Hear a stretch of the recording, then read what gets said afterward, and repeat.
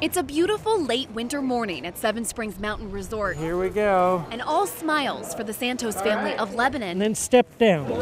each on skis You can see I'm maneuvering. for the first time. I can see myself on the floor pretty soon. They are one of more than a dozen families spending the week here as VIP guests of the Wounded Warrior Patrol. Remember how in stand up skiing, your boots need to be really, really tight? Right.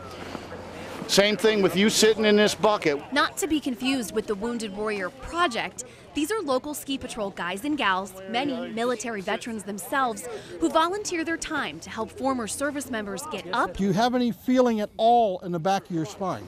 and moving. Darling, you're going to be a gorgeous lesson. We had a lot of fun. Charlie Dunn came on this annual trip last year.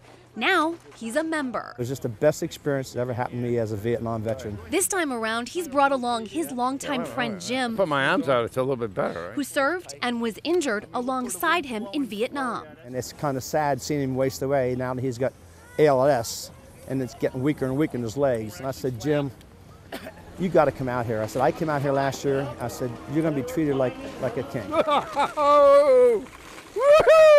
Woohoo! This is uh, so exciting. You know, I uh, I haven't been skiing with him in probably 15 years, and the fact that we get to do it now, this is just absolutely amazing that these guys put this event on for all these you know wounded warriors. Veterans like Jim That was uh, very exhilarating. and Jennifer. Oh, it's absolutely amazing. It's very freeing. who lost the use of their legs are still able to ski thanks to special adaptive equipment and some pretty awesome instructors. I never thought I'd ski again, so to be up here, it's a miracle. They challenged me to take a few runs. Right. Now you tell me where to turn. Okay, look to your right. Let's just say I was out of my comfort zone. Why am I not going to the right though?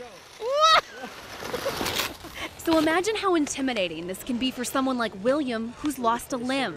He says days like today aren't for him though, but the people who support him every day. They deserve much more than what we do. I believe that way. It's that kind of unprovoked selflessness we so often see from our military and veterans This is exciting stuff. that keeps this patrol inspired to give back Getting easier every time. the best way they know how. Oh, this is great, guys. In This Somerset County, Megan Healey, ABC 27 News.